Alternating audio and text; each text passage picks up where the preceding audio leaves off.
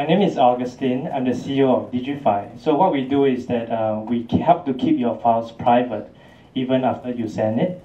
So essentially, you can control what happens to your file. Um, you can unshare it, and then or you can set it to self-destruct.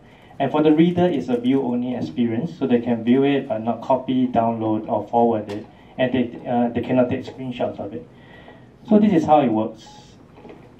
Right, so essentially when you log into the app, you can actually see the camera or the camera roll. So if you use a camera on the screen, this is what you will see. and uh, if you go to the camera roll, you can actually pick out a file, right?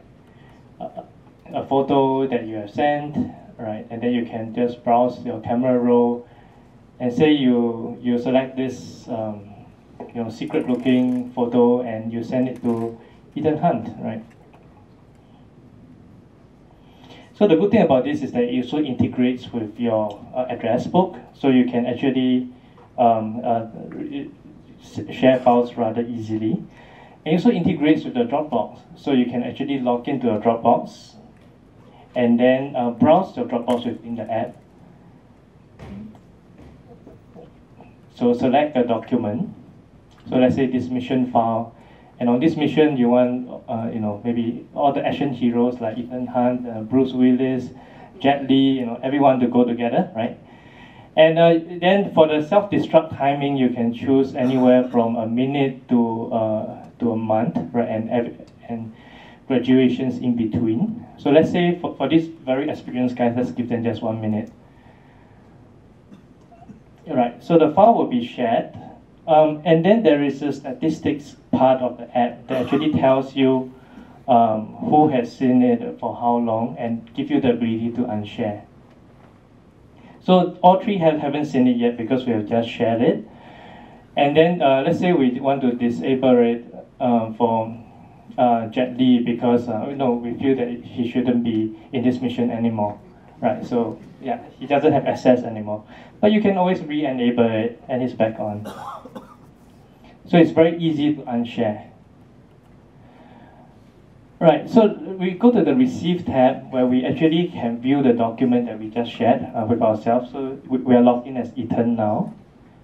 So let's say we can view the mission file and it's uh, set for one minute, right? But it's actually a file to tell us more about some of the use cases.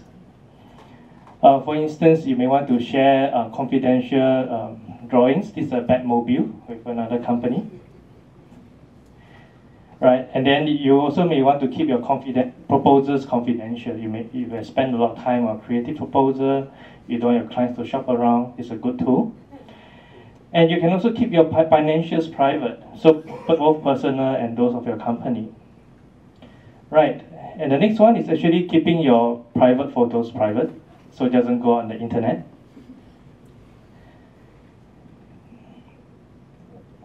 Um, and the last one, the last use case I'm going to highlight is protecting your identity. So let's say sometimes you sign up for a run, they want your ID, or people want to take a look at your passport, but you know they have they can see it, but they don't have to keep it, right? So when the timer runs out, the file will self-destruct. And now we're going to show what happens when you try to take a screenshot. So remember the secret looking photo that uh, we selected just now? So we will now take a look at the photo. And we try to take a screenshot of this. Uh, so this is just showing the pinch and zoom. Yep, so this, this is a screenshot and then um, there'll be a notification. Essentially, the notification will be sent to the sender, right? Uh, and then uh, the, the access will be cut off from the from the uh, whatever you are viewing, uh, what the viewer is viewing. So for this, uh, for this, we have actually uh, give them a second chance. But once they take a second screenshot, they no longer have access to the document. Right. So some of you may wonder, so um, if this is so secure, why are we able to view this, right? Actually, um, this is a, uh, we are using a special version that uh, supports AirPlay. In the actual version, actually AirPlay is blocked. So you won't be able to do a screen capture of the document itself. So when you try to take a uh, screen capture of the document, what you will get is just a black screen. And this is across uh, Android and uh, iOS, and also the um, and also the desktop platforms. Because very often you need to share across different platforms, and our system allows you to do that. And the anti-screenshot and other features are consistent uh, across the different platforms. Right. So that's it. Thank you.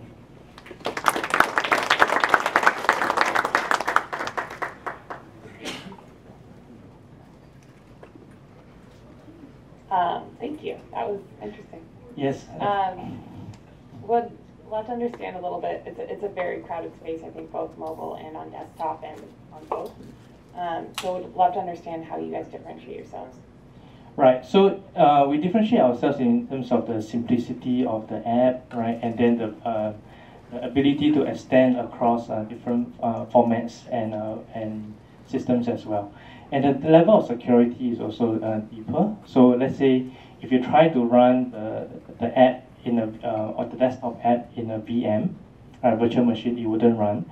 And it also blocks all types of screen capture software and tools as well. Right. Thanks. Can you talk about um, integrations and partnerships you have, whether it be you know with MDM vendors like a Mobile Iron uh, or an AirWatch um, to get on you know corporate enterprises handheld device, or with firewall vendors like Palo Alto Networks? Anything that you have on either of those fronts? Sure. Actually, uh, in terms of partnerships, we are looking at uh, more of the cloud storage providers, right, as well as um, uh, software vendors who are who are actually champions in their verticals. For instance, for engineering diagrams, for instance, for script writers. So we have found strong demand in certain sectors, and, and then we will approach um, the, the champion software in their vertical to talk about integration. Um, essentially, uh, uh, I, I, just repeat your question. How, how, so how do we find adoption in those spaces? Actually, interestingly, a lot of them found us. So, so they, they have searched for such an app, uh, they found us, they call us up, and we have we had a conversation. really curious about the target users. Have you spoken to them and what's it's been in the app store, both app stores for a while now? Uh, no, it hasn't. Uh, so we haven't actually pub, uh, publicized it. Okay. Uh, so, so we have done some interviews with uh, some publications, but we have not publicized it. So um, target users, actually everyone can use it. So um, you know, in, in terms of even sharing your private photos or uh, your financial information with your tax preparer, you know, anything that you want to send out, but you want to uh, keep control. So in terms of particular sectors that we want to start with, so um, we have integration with Dropbox. So people who share professionally with Dropbox, and we found that it has uh, especially strong resonance uh, among those in the creative field. So in the creative field, you spend a lot of time in coming up with a drawing or the photo, and um, you know if you send it to um, to a client, sometimes you will just someone else to do it for cheaper, right? So I think there seems to be quite a strong resonance in that area. Thank you. Yeah. Thank you, Augustine, and thank you, Digify. All right, everyone. This is the fourth and last